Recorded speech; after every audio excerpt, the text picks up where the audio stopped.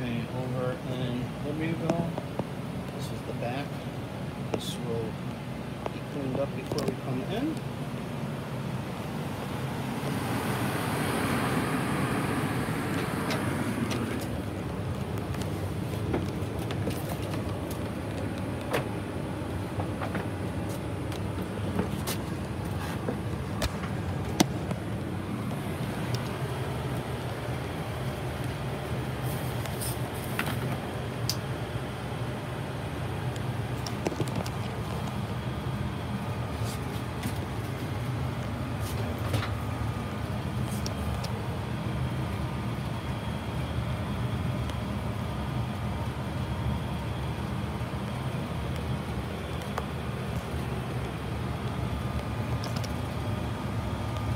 That's an electronic filter.